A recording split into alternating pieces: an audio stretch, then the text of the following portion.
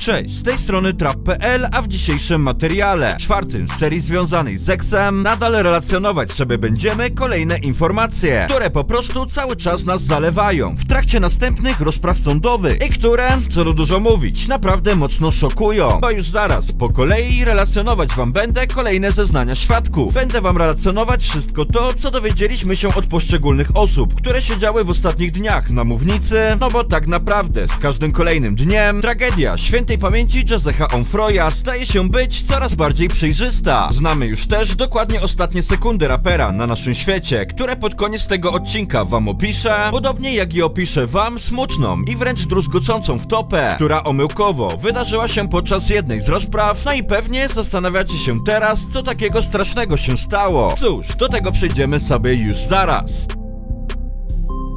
Dobra, tak więc dzisiejszą analizę zeznań zacznijmy od stryka Josecha Onfroya, który przypominam, był jedynym, tak bliskim naocznym świadkiem całej tragedii. Bo już na samym starcie chciałbym naprostować informacje względem ostatnich odcinków, ponieważ właśnie ten facet tak naprawdę nie był partnerem matki Exa, a natomiast jest on bratem ojca XXX Tentaciona, czyli Dwayna Onfroya, który co prawda za życia syna spędził z nim czasu, no praktycznie tyle co nic, głównie na skutek licznych odsiadek w więzieniu. Jednak za to jego jego brat, czyli właśnie ten oto stryjek, naprawdę często przesiadywał w domu Onfroyów. Ogólnie gość pochodzi z Jamajki i robi wrażenie prostego, naprawdę bardzo w porządku i uczciwego faceta. No bo jak się okazuje, tamtego pamiętnego dnia był on właśnie z rana obecny w domu Josecha Onfroya, kiedy to Kleopatra Bernard kazała mu współtowarzyszyć Triple Xowi w jego zakupach, ponieważ bardzo mocno się o niego martwiła. Wiecie, że coś mu się stanie podróżując taką gotówką, dlatego po drodze, gdy jechała z Genesis do szpitala, szpitala. To podwiozła wtedy stryja do banku, by ten miał na niego oko. Bo właśnie już wtedy, w międzyczasie, ex cały czas wybierał swoje pieniądze. I co ogromnie ciekawe, w jego zamyśle początkowo było zdobycie aż 250 tysięcy dolarów czystej gotówki na swoje zakupy w Riva Motorsports. Jednak w banku Triple X od kasierki dostał informację, że jest to niemożliwe i że maksymalna kwota, którą może wybrać to 50 tysięcy dolarów, dlatego też tak zrobił. I to jest właśnie odpowiedź na pytanie, które często zadawaliście w komentarzach komentarzach, bo najprawdopodobniej Exowi zabrakło gotówki, by kupić swój wybrany motor i dlatego później wracał do domu z pełną torbą. A do tego często pytaliście się też, co się właśnie stało finalnie z tym stryjkiem, w momencie, gdy napastnicy zaatakowali BMW rapera. Tak więc, jak możecie sobie zauważyć na nagraniach, momentalnie wówczas wyskoczył on z samochodu i uciekł w kierunku sklepu Riva. I co prawda, teraz pewnie część osób powie, że zachował się po tchórzowsku, zostawiając swojego bratanka w takiej sytuacji. I to bratanka, którego którego miał chronić, ale jak sam opowiadał na sali sądowej, był to swojego rodzaju bezwarunkowy odruch, ponieważ niesamowicie wystraszył się o swoje życie. I pewnie znaczna większość z nas zareagowałaby tak samo. Natomiast gdy zbiegł już on w okolicy sklepu, to chciał też od razu zadzwonić na policję. Jednak inni świadkowie tam obecni zrobili to już wcześniej, dlatego on sam momentalnie zawiadomił wówczas Kleopatrę o tragedii, która spotkała jej syna i na tym jego rola w tej opowieści się zakończyła. Jednak wracając do gotówki, to nawet nie wiecie, jak się cieszę, że finalnie tych 250 tysięcy dolarów nie udało się wybrać Triple Xowi w banku. Skoro już te 50 koła podobno wystawało mu z plecaka i ten szczegół właśnie zauważył Dedrick Williams wychodzący ze sklepu, ponieważ gdyby ta krnąbrna czwórka dorwała się do ćwierć miliona dolarów, to dopiero by im wtedy odwaliło w głowach. Skoro przecież w ostatnim materiale pokazywałem wam parę fotek, które to napastnicy robili sobie zaraz po wykonanej w cudzysłowie robocie, flexując się skradzionymi tysiącami wyśmienitych tych humorach, jednak jak się okazało, tak naprawdę takich zdjęć czy też filmików jest o wiele, wiele więcej i na każdej kolejnej rozprawie są one puszczane na monitorze, przy czym też często się to wiąże z wybuchami śmiechu ze strony napastników, co jest po raz kolejny wręcz obrzydliwe, no ale co zrobisz? Tutaj to macie na przykład wideo Dedricka Williamsa, które to nagrał w swoim domu, dosłownie już godzinę po tragedii. Tutaj macie kolejny filmik, zrobiony wieczorem tego samego dnia, a z rana dnia następnego też Dedrick nie omieszkał takiego klipu zrobić. Jak widzicie, wszystko cuchnie cringe'em na kilometr, a tutaj macie też na przykład nagrania pana Kapusia, naszego tłustego Roberta, czy też Big Roba, bo tak wówczas nazywali go właśnie ziomkowie. I jak widać, no taki święty to nie był, jak teraz zeznaje. Natomiast Dedricka Williamsa kumple nazywali Tattoo Chucky. Też imo dosyć wadliwa ksywa. No ale jeżeli już o nim mówimy, to jednym z kolejnych świadków na rozprawach była właśnie jego była partnerka z czasów, gdy żył on jeszcze na wolności. No i co najciekawsze, właśnie ta ta jego dziewczyna w swoich zeznaniach między innymi zdradziła sądowi fakt, że Dendrick raczej nigdy problemów z kasą nie miał. Nigdy im pieniędzy nie brakowało. Dlatego to tym mocniej dziwi, że tak bardzo zależało mu na tych 15 klockach, że był w stanie poświęcić ku temu życie jednej z największych legend ówczesnej muzyki. Dodatkowo babeczka między innymi uznała, że nie miała wówczas pojęcia o takich planach chłopaka, bo nikomu się on raczej do tego nie przyznawał, natomiast powiedział jej wcześniej tylko tyle, że idzie kupić części do swojego roweru, właśnie do Riva Motorsport, ponieważ również jak dwóch sprzedawców z tego sklepu zeznawało innego dnia. Dedrick był ich stałym klientem. Bardzo często wcześniej kupował u nich różne itemki. W ich bazie były jego podpisy, jego dokumenty, tak więc naprawdę jest to tylko kolejny dowód ku wersji, że ten zamach był totalnie przypadkowy i był po prostu niefortunnym zbiegiem zdarzeń. No ale co więcej, to dziewczyna Dedricka również zdradziła, że ten przez telefon kazał jej zeznawać w taki sposób, żeby nie wyszło, że to on był kierowcą tego pojazdu. Jednak jak widzimy, babeczka się już go nie posłuchała, natomiast wręcz wyciągnęła to przeciwko niemu na sali sądowej i kurde, wczujcie się teraz skórę tego gościa. Po ponad czterech latach widzicie waszą byłą dziewczynę w sądzie, która na wolności była dla was pewnie wszystkim i widzicie ją po raz pierwszy od tego czasu w sytuacji, kiedy na was sniczuje i pewnie w międzyczasie znalazła sobie też innego partnera. Cóż, no ogólnie nie jestem z takich osób, ale w tym wyjątkowym przypadku stwierdzę, że na to sobie zasłużył. Podobnie jak i strzelec Michael Bowdright, którego obecną linią obrony. Natomiast jest wersja, że w trakcie incydentu spał on sobie spokojnie w domu jak dziecko, a natomiast nie napadał na żadnego rapera. No i to jest śmiech na sali po prostu, ponieważ to, ile dowodów prokuratura zebrała na tych czterech gości. Szczerze powiedziawszy, nie mieści mi się w głowie, że służby są w stanie takie rzeczy namierzać, bo między innymi pokazali oni dokładnie przedziały czasowe, kiedy telefon Bowdrighta był podłączony przez Bluetooth z samochodem, który dopuścił się przestępstwa. Także za pomocą jego telefonu zdobyli jego dokładną lokalizację o praktycznie każdej godzinie tego dnia, które to idealnie pokrywają się ze scenariuszem napadu. Natomiast czy to na masce Dedricka Williamsa, czy to na łańcuchu rapera, czy na samochodzie, również znaleźli i jego DNA. Do tego służby są w posiadaniu zapisu z ich konwersacji, w której co ciekawe, zaraz po ogłoszeniu tragicznej nowiny o XXX Tentacionie w mediach, to panowie wysyłali sobie chwilę później takie oto nagłówki na grupę. Więc no kurde, ogólnie patowa sytuacja